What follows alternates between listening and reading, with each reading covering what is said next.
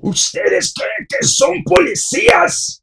Un millón de dólares en daños a la propiedad. Ni siquiera puede colgar a esos criminales. Señor alcalde, pido disculpas y asumo toda la responsabilidad. Un millón de dólares en daños a la propiedad. Ni siquiera puede colgar a esos criminales. ¿Tú crees que es un policía? Lo siento mucho, señor.